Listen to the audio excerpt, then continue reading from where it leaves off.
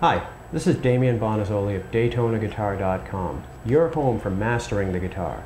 In today's video lesson, I want to walk you through a fun scale that I use that I like to call the creepy minor scale. If you can come up with a better name for it, I welcome you to it, and you can drop me a line at info at DaytonaGuitar.com.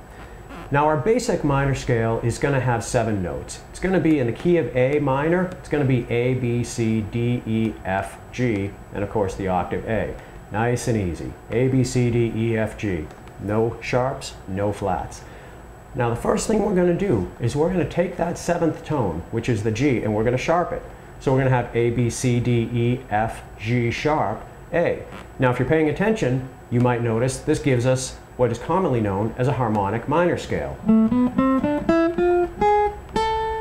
Just like that. We're going to do one more thing though. We're not going to take away a note, we're not going to substitute a note, we're going to add a note. It'll give us an eight note scale and the note we're going to add is a diminished fifth, which is to say an E flat. This is the sound it's going to give us now.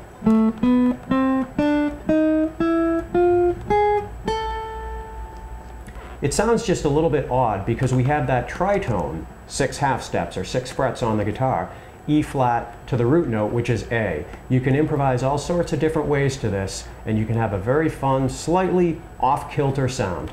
Enjoy it. That's the creepy minor scale. As always, keep your eye out on DaytonaGuitar.com, your home for mastering the guitar.